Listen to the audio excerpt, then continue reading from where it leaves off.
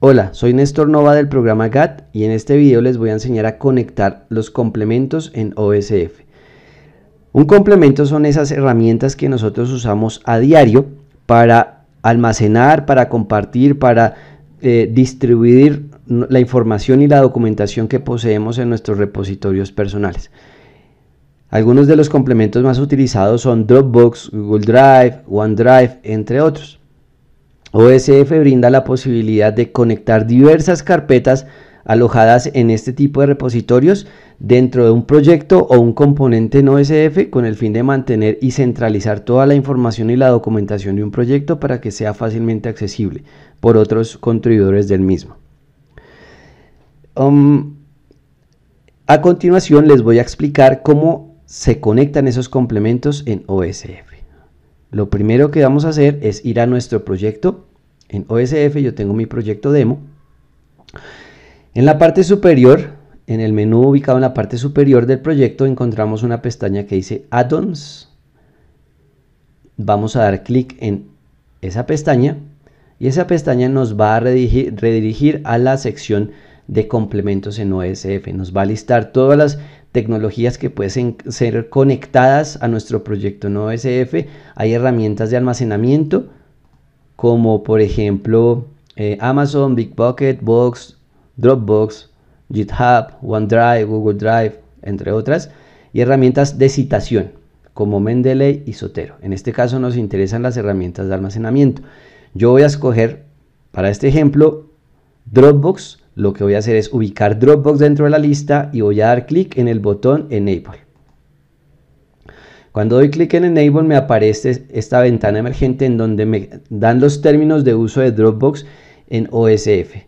Interesante saber, por ejemplo, que cualquier em, cambio que yo haga en los archivos de OSF que estén almacenados en Dropbox se verán reflejados en esa carpeta de Dropbox. Asimismo, si yo hago un cambio en Dropbox, en mi Dropbox directamente, será automáticamente actualizado en OSF.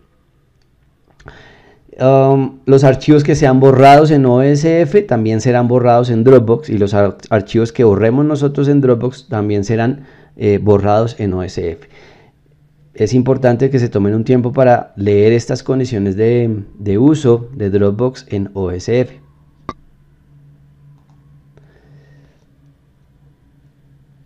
Bien, una vez he conectado mi Dropbox, el siguiente paso es importar la cuenta o mi perfil de usuario. Entonces para ello vamos a la parte inferior en la opción importar cuenta desde mi perfil. Me sale una ventana emergente como una validación de si lo quiero hacer. Le digo impórtelo. Él inmediatamente me arroja mi listado de carpetas o el listado de carpetas que yo tengo dentro de mi Dropbox personal. Antes de hacer esta, de, esta exploración de carpetas, en su caso les debe aparecer la verificación y la validación de permisos para acceder a su cuenta en Dropbox. Ustedes deben registrar su número, su em, nombre de usuario, su correo electrónico y su contraseña de Dropbox, Google Drive o la herramienta que quieran conectar. Una vez ustedes den acceso a OSF, a su, Dropbox, les va a aparecer este listado. Entonces, con ese acceso, ustedes se dirigen a la carpeta que quieren conectar. Yo tengo una carpeta que se llama Colombia Científica. Dentro de ella, aquí la tengo, número uno, Colombia Científica. Dentro de ella tengo una que se llama Proyecto Echinasia. Es importante mencionar que yo puedo conectar una carpeta específica o una carpeta superior con subcarpetas al interior. En este caso, esta carpeta no tiene subcarpetas.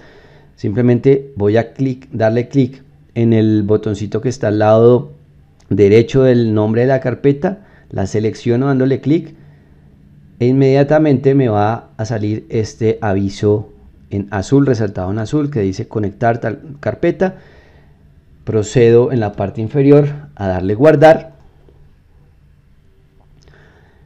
y mi carpeta ha sido conectada. ¿Cómo verifico que ha sido conectada? Me devuelvo al proyecto principal en la parte superior izquierda, clic en el título para ir al proyecto principal. y verifico que mi carpeta haya sido conectada. Como ustedes ven en la parte eh, izquierda de la pantalla, ya existe mi carpeta Proyecto Chinasia conectada al proyecto principal en OSF. Este procedimiento lo puedo realizar para cualquiera de los componentes que están em, que hacen parte de la estructura de mi proyecto. De tal manera que, por ejemplo, el componente datos puede tener una o varias carpetas em, almacenadas en Dropbox, Google Drive o cualquier otra herramienta. El componente resultados puede tener otra carpeta totalmente diferente en una herramienta diferente.